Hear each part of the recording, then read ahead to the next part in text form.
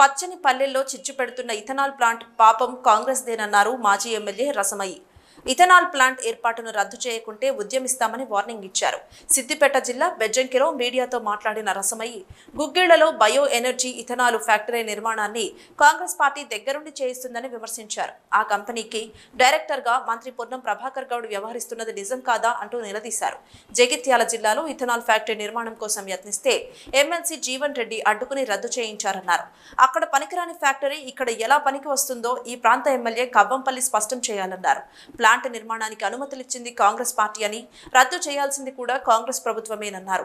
తాను గుగ్గిళ్ళ వాసులతో కలిసి ఎలాంటి పోరాటాలకైనా సిద్ధంగా ఉన్నానని స్పష్టం చేశారు.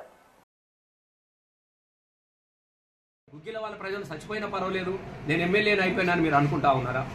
వీళ్ళందరూ కూడా తెలిసిపోతుంది కదా ఆ కంపెనీతోని కుమ్మక్కై. ఆ కంపెనీ కాంగ్రెస్ పార్టీకి సంబంధించినటువంటిది. ఆ కంపెనీకి కాంగ్రెస్తో కుట్ర కుమ్మక్కైపై మీరే అన్ని అనుమతులు ఇప్పించి దానిలో గౌరవ పొన్నం గారు డైరెక్టర్గా ఉండి ఇక్కడ నడిపించినటువంటి కథ కూడా ప్రజలకు తెలిసింది కాబట్టి మీరు గతంలో ఇచ్చినట్టుగా ఖచ్చితంగా దాన్ని రద్దు చేయించాల్సిన బాధ్యత కూడా మీదే. రద్దు చేయకుంటే ప్రజల తరపున గుగ్గిల ప్రజల తరపున నర్సుల పల్లె వాళ్ళ తరపున పోతారం వాళ్ళ తరఫున ఖచ్చితంగా మేము ప్రజల తరఫున మేము నిలబడతాం మేము పోరాటం చేస్తాం. ఎట్టి పరిస్థితుల్లో కూడా ఆ విత్తనాల ఫ్యాక్టరీ అనేది ఇక్కడ పెట్టనీయమని అనేది ఈ సందర్భంగా మేము తెలియజేస్తా ఉన్నాం. ఇకనైనా అబద్ధాలు మానుకోండి.